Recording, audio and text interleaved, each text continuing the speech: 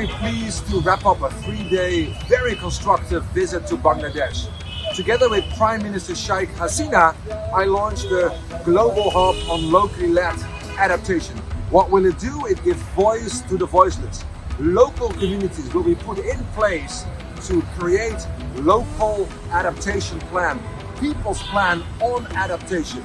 And we have started that work in Mongla, a secondary port city in Bangladesh, together with local communities, the local government, the international finance institution, supported by the United Kingdom, we're developing people's plan on adaptation in Mongla, which will be replicated in 26 other cities across Bangladesh.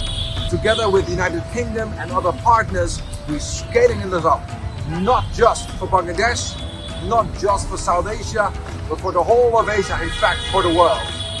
Stay tuned.